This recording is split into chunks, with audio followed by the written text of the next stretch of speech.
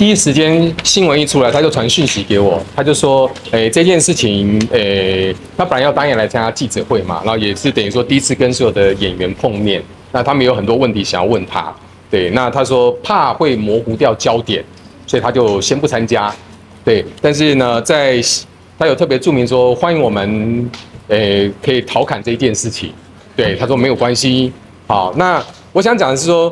魏导在我认识魏导二十几年啦，他拍第一部电影叫做《七月天》，好，他当时拍的时候，那时候我有个剧团，我剧团很多的人参与他的制作，然后拍完之后呢，大家都知道小魏已经没有钱了，完全花光了，对，他是隔了一年多之后，才跟每一位演员付他们费用，其实那时候演员都觉得说这不钱应该付不出来啦。对，但是呢，他就是很认真的把每个人欠的钱通通都诶付付给他们。那所以对于我而言，呃，小魏是一个愿意面对问题的人。好，那至于他现在发生这样的事情呢，那我相信他有他的律师团队在处理，所以他说这个部分就他就不再多说什么。对，大概是这个样子。那他一样正常生活，诶，都睡得着，吃得饱。对。他有跟你分享说他现在心情啊，就是有没有比较沮丧？哎，没有，没有。他说他跟家人还是一样很开心的吃饭、聊天，都没有什么太大问题。因为特别会关心他嘛，对。但是他就说，哎，就让律师来处理这样的事情。对，因为我我在想啊，当初在不管是资方或者是创作者，都是希望这一部片子好。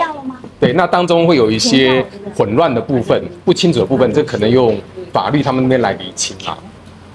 导演会很舍不得魏导嘛，因为觉得他是个这么认真的人，然后还因为拍电影卷入中风，当然会非常不舍啊。那相信他承受的压力一定是非常大，对。然后，但就没办法，我觉得这个这件事情真的让法律来处理啦。那就朋友的立场，那又大家都是共同的创作者，那我觉得创作者在面对资金的时候，常常是相对来讲是很无力的，对，因为当你要想把剧那个剧拍好，其实从某个角度来讲，会真的你要他做什么事情，他都会愿意去做。所以实际上发生什么样的状况，我们不清楚，对。但是就是交给法律去处理。想问一下立法，就是那时候，毕竟你是有拍赛德克巴莱，你对这件事情你有耳闻一些在拍摄的过程？对这拍摄过程没有很高这样子。成本很高，是大家都尽呃众所皆知。然后我在拍摄过程没有听到有这样的一个传闻，有这样的一个消息。到片场就很认真，就是看剧本、上戏，然后演完就回家，就这么子。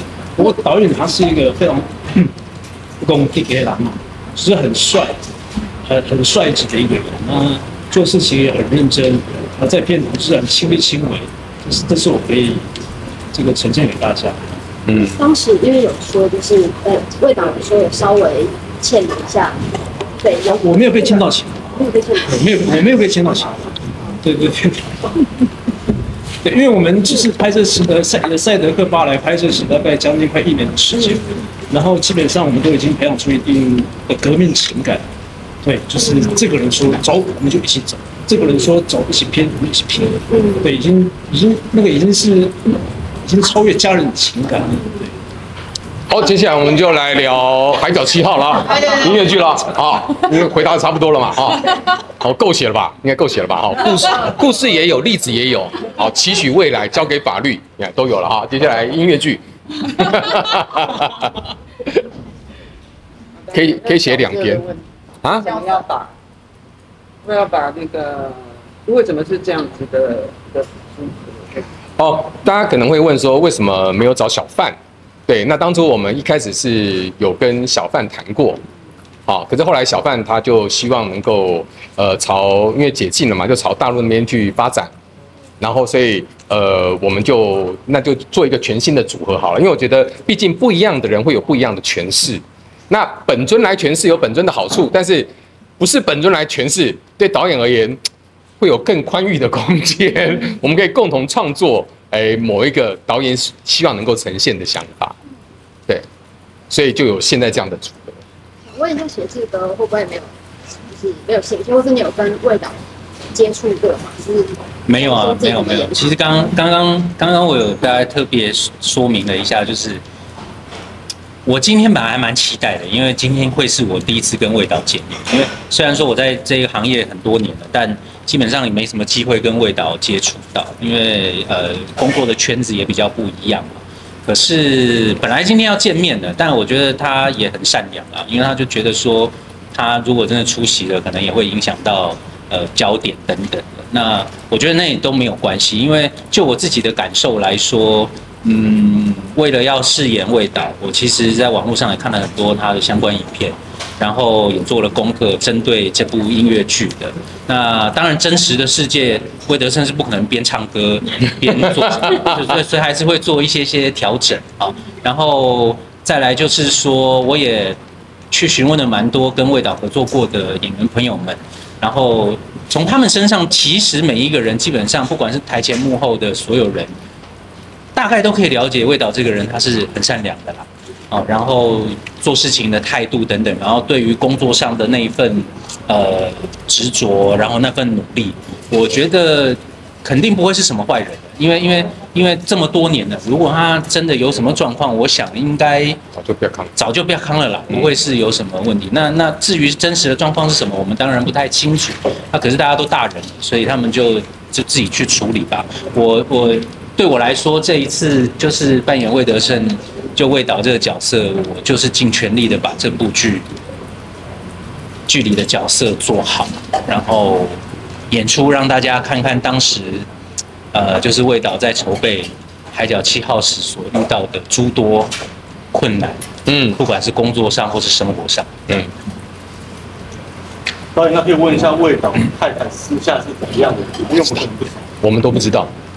不是认识魏导对对，但他老婆就永远没有接触到，对都没有碰都没有都没有都没有，就是包括这次我们希望他提供一些资讯，他也都说，哎，就尽量不要好不好？他说尽量不要，就呃就给我们更大的创作空间啦。所以到时候他和味道太太是会重新设定个性嘛，就不会是就是我们自己设定就，我们自己设定。就这个大家都清楚帮我们写下来哈，他到时候演的不是真正的味道的妻子，是我们创作出来的。对对对，这样对他们夫妻未来的生活应该会比较好一点。但那找学志哥是因为学志哥，你觉得他某个角度像味道吗？哎，倒不是，我是觉得我们上次的合作就发现，鞋子的表演能力非常好，然后他的唱歌的诠释，然后他的性格跟味道有很多地方是相似的，所以我们觉得，哎，不知道他愿不愿意接受这个挑战啊，就觉得很开心。愿意，愿意，愿意。对对对对对对，太开心了。我觉得在工作上的那种态度，其实是跟着跟跟味道蛮像的。嗯，而且因为这次等于说跟跟鞋子已经有工作过，就上一次的合作，那这次在工作之后，其实我们一刚开始排戏的时候，呃，不管两位都提供很多的不同的意见，我觉得对这一出戏会有很大的帮助。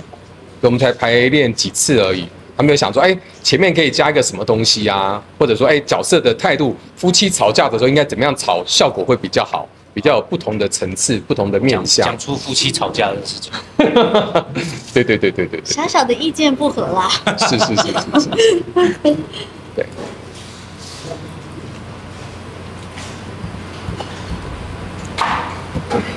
那那这次音乐剧有就是为了这个剧有几首新歌嘛？我们有几首，大概是十七首歌，大概有三首是旧的，三首是旧的，十四首是新的，对，很多耶，对。很多练琴现在很苦，对。对，因为他金曲奖之后，现在全力冲刺，对，但此刻人在福州，对对对对对。对，，因为奶茶演唱会，嗯，我觉得很有趣啦，就是相关行业的你们啊，或者是圈内的朋友们，看这部音乐剧应该会蛮感同身受。然后一般的喜欢音乐剧的的观众朋友们啊，来看戏的朋友，也可以感受到，就是在这个圈子的工作环境会是什么样。那当然，感动的部分一定会有，然后我们就尽量用好玩啊、诙谐的方式去把整个故事情节做好，对，比如说拍床戏很辛苦啊，嗯，我们那时候想说，哈，拍床戏有什么好辛苦的？后来才知道说，他们拍的时候因为要关冷气嘛，所以就很热，然后那个床啊，然后工作人员啊，就他们怕他踩上去，他说哦没关系没关系，我不踩不踩，他就把鞋子脱下来，就是五六个七八个大男人全身是汗，然后他们要演的很浪漫的样子。但是我们在，因为我们做这个作品有跟魏导、跟小范、跟田中，我们都有访谈过，把他们在整个拍摄过程当中发生有趣的事情，就放到我们这个剧中。在剧本。对对对对对。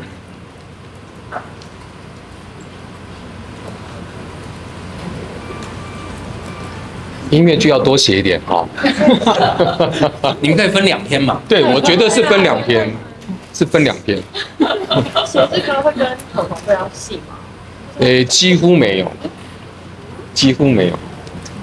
有的话就会同台啦，但是很多人就小互动有一点小互动这样子吧。对啊，因为毕竟他是助理，他是导演嘛。对对对，我大多就是片场、办公室，还有家里还有家里。毕竟毕竟太太在，可能没有话，里面有太多的互动，不允许有类似的互动。对对对就我们有在这还蛮好笑戏里面这还就是想蛮好笑的说，因为有几幕就是会有时呃。一幕，然后同时会有两个场景，然后那个时候是可能右边是我跟写志哥在家，可是左边是彤彤在台上，然后我想说不对啊，这时候他出现在我家也太奇怪了吧，我说那是两个空间，对对那是两个空间。会有这样的画面。对对对对，这太好笑了。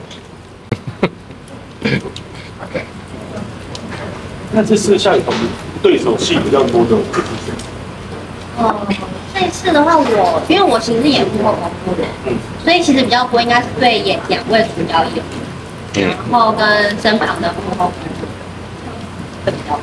几乎就穿梭全场。对对，对啊，他就是助理啊，什么事情就通通都是他处理，缺什么补什么。应该说我都在场上，有点像在跑来跑去，觉得哪边需要人家来帮忙，我就要去支援。我们常常读本读一读读一读，雨桐宇以为他没事在旁边，忽然间有一句台词，他说我在场上哦，我说对对对，助理常常在旁边游走，没有什么事情。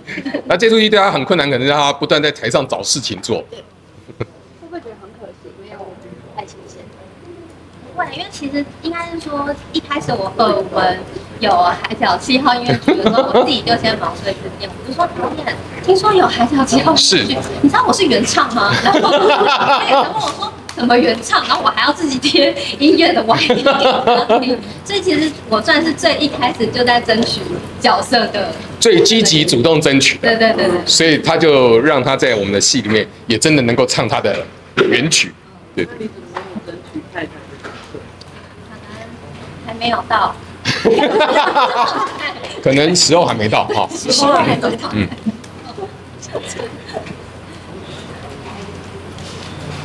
对啊，我是最后一个。对，嗯，最后对，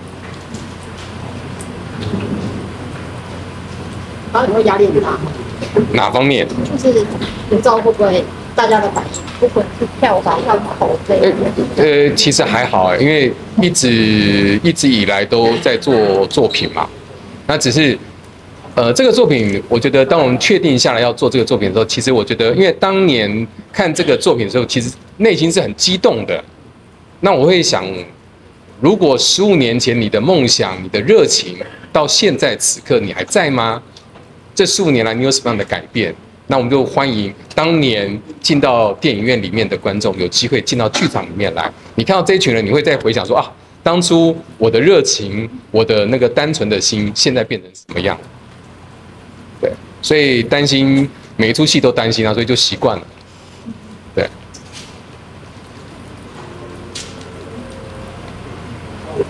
那你这次聊这个授权的部分是很顺利。呃，不顺利，因为前面有些版权好像是在别人的手上。对，那当初本来要协商或是怎么样，后来我们就最后剧团就决定说，等所有的版权都很清楚回到魏导的手上之后，我们再跟魏导谈。那当然，魏导听了我们的点子之后，呃，呈现的手法之后，他是非常开心，他觉得这是非常非常有趣，而且容易被执行的。对，因为他说之前人家要呈现整个电影，他会觉得很困惑，这有办法吗？对，那觉得我们选择一些经典的片段做呈现，然后呃，也替这些幕后的工作人员说说话，他觉得还蛮好的。所以等之前的版权都清厘清之后，那很快就授权给我们，让我们可以继续往下走。对，所以这个部分还好。好哟，我们是差不多。还有人要问你吗？我们可以问一下题外的，就是想问一下，你上礼拜有看完焦哥的两万多字的长文？哦，真的最近这段时间就是排练，然后跟写剧本，所以我真的没有在关注其他的事情。OK，好，谢谢，谢谢谢谢，谢谢。